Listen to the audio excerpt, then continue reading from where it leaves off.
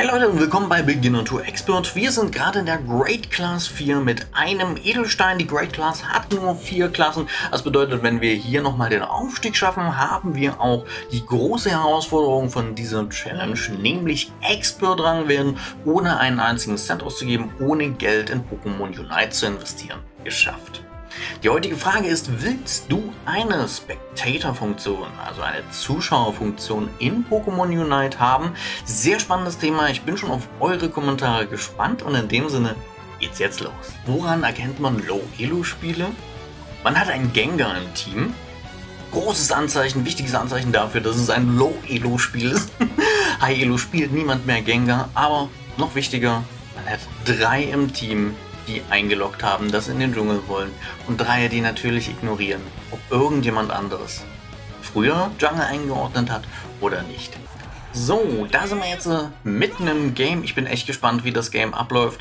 Sowohl Hoplo als auch äh, Gengar und Absol haben alle drei eingestellt, dass sie in den Dschungel gehen wollen. Jetzt haben wir hier Einfach nur ein riesiges Chaos im Spiel drin. Ähm, Pokémon Unite kann man das im Prinzip gar nicht mehr nennen, ein richtiges Pokémon Unite Match, aber ich bin trotzdem gespannt, wie das Ganze hier ablaufen wird. Ähm, Normalerweise ist es so, dass dieses Chaos sich relativ bald widerlegt. Wir sind jetzt hier viel zu spät auf der Lane gewesen, von daher lohnt es sich nicht, das mittlere Camp zu contesten, insbesondere wenn wir hier einen Relaxo mit in der, im gegnerischen Team drin haben. Also hier kann ich euch auch empfehlen, wirklich. Wenn, wenn, wenn am Anfang drei Leute ähm, einstellen, dass sie in den Dschungel wollen, drei Leute in den Dschungel gehen und äh, es einfach komplett chaotisch ist, dann bringt es nichts mehr normal zu spielen, dann bringt es nichts mehr äh, vernünftig zu spielen.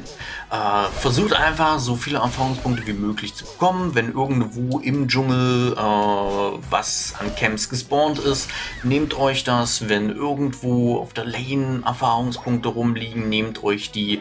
Wenn eure Teammates, äh, sag ich mir mal, irgendwo in der Klemme stecken, irgendwo äh, kurz davor sind, von drei Gegnern vernascht zu werden, ist nicht nur in solchen Trollspielen so, dass ihr das ignorieren solltet und äh, nicht zu euren Mitspielern hingehen solltet, um denen zu helfen. Wupp.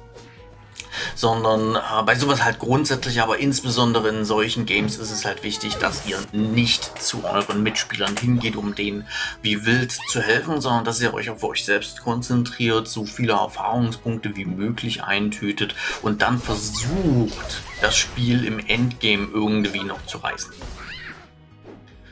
So, der Grund dafür ist einfach, äh, in, in solchen Spielen ist es sehr, sehr, sehr chaotisch und man kann sich nicht darauf verlassen, dass aus dem eigenen Team überhaupt irgendetwas Vernünftiges mehr rauskommt.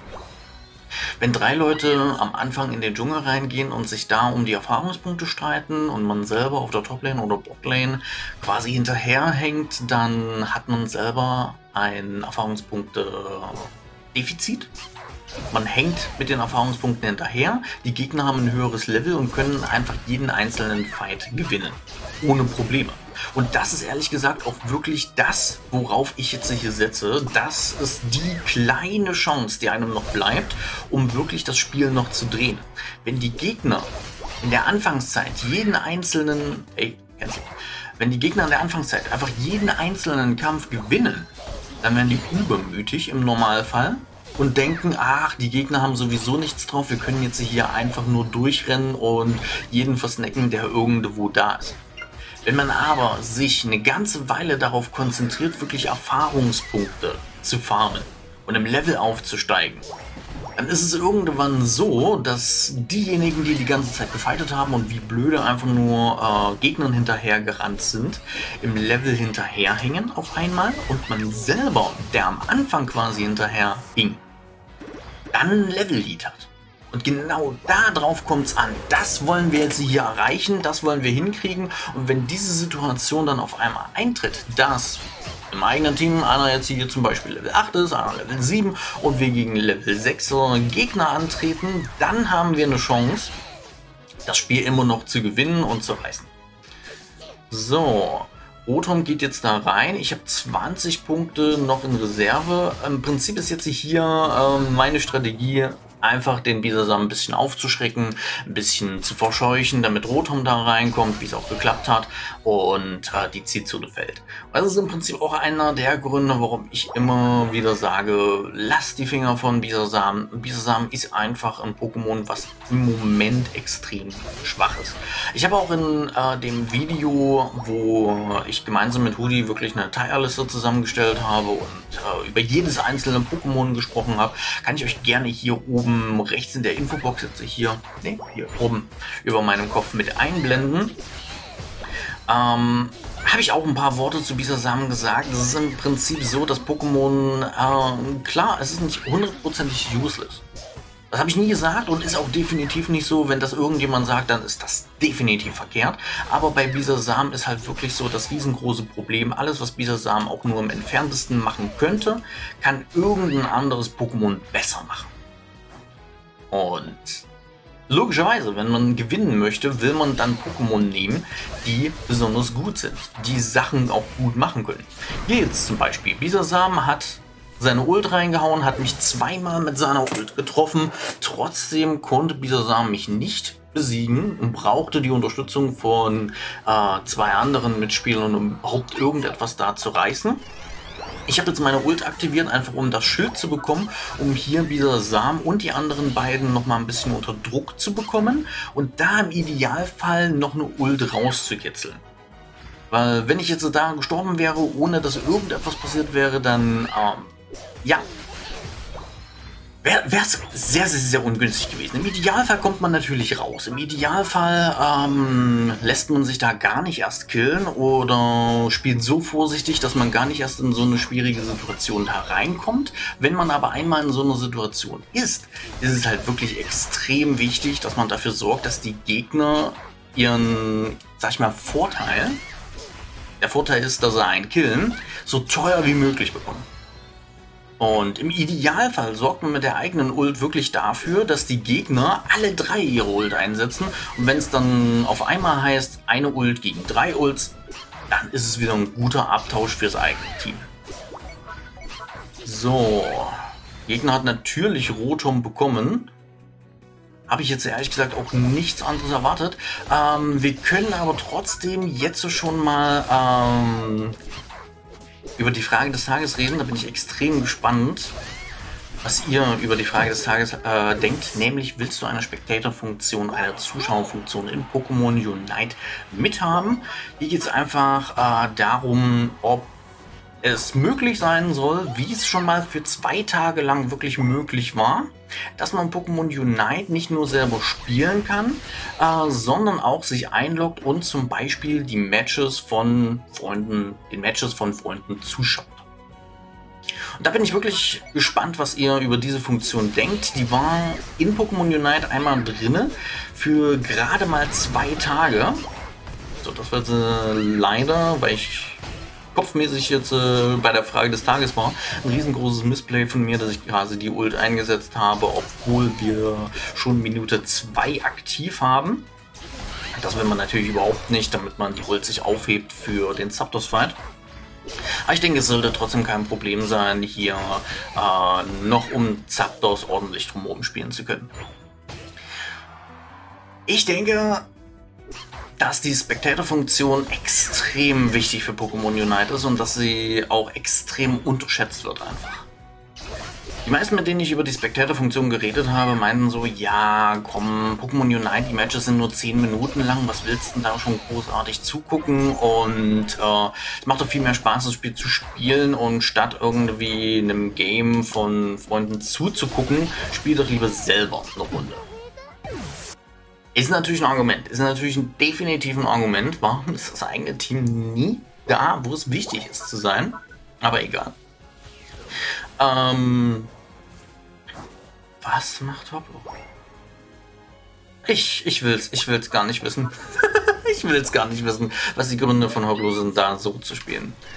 So, damit ist das Spiel jetzt auch das Match definitiv verloren. Aber mal gucken, ob wir vielleicht irgendwie noch dafür sorgen können. Du, du. Jawohl, okay. Das Match ist definitiv verloren, keine Frage. Aber wir konnten Zeraora davon abhalten, seine Zapdos-Punkte hier reinzusammeln. Und das... Das ist, sage ich mir mal, was, was man nicht unbedingt immer hinbekommt. Von daher bin ich da definitiv zufrieden damit, dass wir das jetzt hier so gepackt haben. Ähm, ein Sieg ist komplett ausgeschlossen, hundertprozentig, aber die Frage des Hagels steht ja noch im Raum und die finde ich sehr, sehr, sehr, sehr spannend, weil ich halt wirklich auch einfach das Gefühl habe, dass die meisten die Spectator-Funktion komplett unterschätzen. Wofür ist die Spectator-Funktion nämlich gut? Klar, man kann Freunden dabei zusehen, wie Freunde in Pokémon Unite spielen und was andere Spieler quasi in Pokémon Unite so treiben. Man könnte zum Beispiel sich das Profil einfach von einem Masterspieler aufrufen und da gucken, wie spielt er, was spielt er, warum spielt er das und versuchen davon zu lernen und selber besser Pokémon Unite spielen zu können. Gleichzeitig ist es natürlich auch so, dass die Spectator-Funktion, wenn sie denn wieder integriert wird, auch ermöglicht, dass man einfach wieder Turniere veranstalten kann. Aber was heißt wieder, dass man erstmals in Pokémon Unite wirklich Turniere veranstalten kann und gemeinsam ein riesiges Pokémon Unite Turnier spielen. Das ist halt wirklich was, das ist so dermaßen episch, was im Moment einfach nicht geht. Wenn ich jetzt zum Beispiel sagen würde, äh, komm, wir machen ein Community-Turnier in Pokémon Unite, dann könnte man als Turnierleitung gar nicht sagen, okay, welches Team hat jetzt gewonnen, haben die Teams ordnungsgemäß gegeneinander gespielt, was ist jetzt eigentlich ganz genau einzeln da im Spiel passiert.